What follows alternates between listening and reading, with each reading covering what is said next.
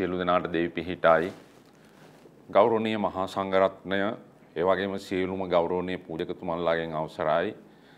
මුල් මහත් ලක්වාසී දෙමව්පියනේ දරුවනේ හිතවතුනේ මිත්‍රවරුනේ.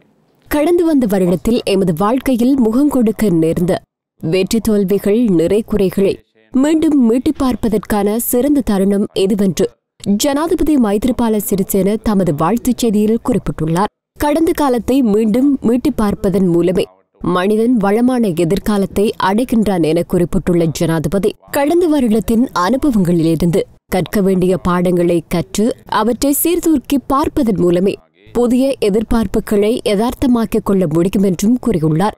அனைத்து சவால்களையும் வெற்றி கொண்டு மலரும் இரண்டாயிரத்து பத்தொன்பதாம் புத்தாண்டில் ஒழுக்கம் நல்லிணக்கம் மற்றும் சுபிட்சம் ஆகியவற்றை அடையக்கூடிய பரந்த பாதையில் முன்பை விட கூடுதல் கரிசனையுடனும் கவனத்துடனும் செயற்பட வேண்டும் என ஜனாதிபதி தனது வாழ்த்துச் செய்தியில் கூறியுள்ளார் சகலரது வாழ்க்கையும் வளமும் செழிப்பும் மிக்கதாக அமைய வேண்டும் எனவும் எதிர்பார்ப்புகள் நிறைய வேண்டும் எனவும் மனப்பூர்வமாக பிரார்த்திப்பதாக ஜனாதிபதி தனது வாழ்த்துச் செய்தியில் மேலும் தெரிவித்துள்ளார் ධර්මයෙන් ජීවත්වන නිසා සැම විටම ධර්මයෙන් ආරක්ෂා කරන බව ඔබ අප දන්නවා. ඔබ සියලු දෙනාටම ස්තුතියි තෙරුවන් සරණයි.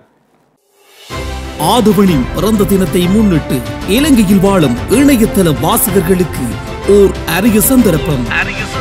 உங்கள் ஸ்மார்ட் போன்களில் ஆதவன் ஆப்ஸை டவுன்லோட் செய்து பெருமதிமிக்க பரிசில்களை வெல்லுங்கள். முதலாவது பரிசாக பஜாஜ் பல்சர் மோட்டார் சைக்கிள் இரண்டாவது பரிசாக ஆக்டிவா ஐ மோட்டார் சைக்கிள் மூன்றாவது பரிசாக நாற்பத்தி ஒன்பது அங்குல எல்இடி தொலைக்காட்சி. எதிர்வரும் மார்ச் மாதம் பத்தாம் தேதி அதிர்ஷ்டசாலி தெரிவு செய்யப்படுவார். ஆதவன் ஆப்ஸை டவுன்லோட் செய்து நீங்களும் அதிர்ஷ்டசாலியாக மாறிடுங்கள்.